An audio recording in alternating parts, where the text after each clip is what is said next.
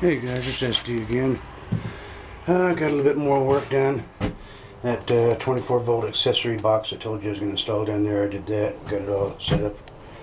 Uh, each uh, individual piece of equipment that runs through it has its own individual fuse.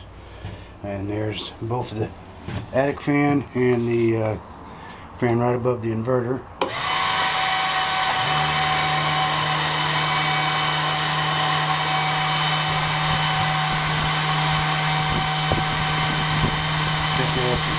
There volume. So I got the attic fan hooked up back up there. That one's all ready to rock and roll.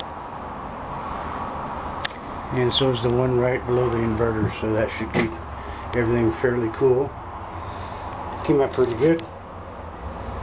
I've got one more hole there uh, that's in the box, that's on the side, and that's going to house the chaseway that's uh, going up to uh, the two LED lights I'm going to put up here in the attic.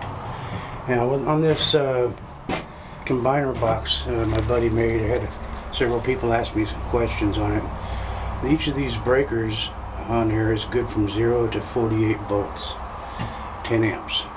Okay, uh, They're mounted on a uh, 35 millimeter DIN rail uh, he also has breakers uh, for 20 amp, 50 amp, and 60 amp, uh, where you can have uh, five breakers like this set up, and then it all goes into uh, one single breaker as a main disconnect. Also, has surge protectors. Uh, he has these boxes set up for both 12 and 24 volts. he also has them where they have their own built-in MC4 connections so you do have to bring your cable right straight into it and clip it right in and you're ready to go.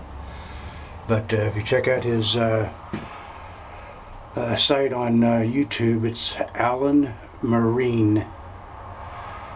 And just type that in and you'll see all the different things he's actually making several air conditioners that don't run on Freon they're just uh, Peltier modules. And they make pretty pretty nice setup he has a thing where you can switch them over from both heating and cooling.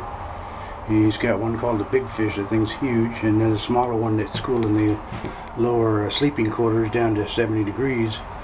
But check out his videos, guys, if you get a chance. He's got some pretty outstanding stuff, and he's helping me out with a lot of this. Still got uh, the heat sink, I picked that up today. That'll get mounted tomorrow. That'll give me something a little bit to do. And I'll try to get these two LED lights uh, wired in so you can see how bright they are. But I only got to spend about a half a day because I had to run around, do some grocery shopping and a few other things. So, But it's coming along. Got these all the fans hooked up now, so now if it gets hot in here at all, I can take care of the problem. There's a little homemade uh, 24 volt accessory box. Uh, each thing is again individually fused, so they're ready to rock and roll. Alright guys, we'll see you later on.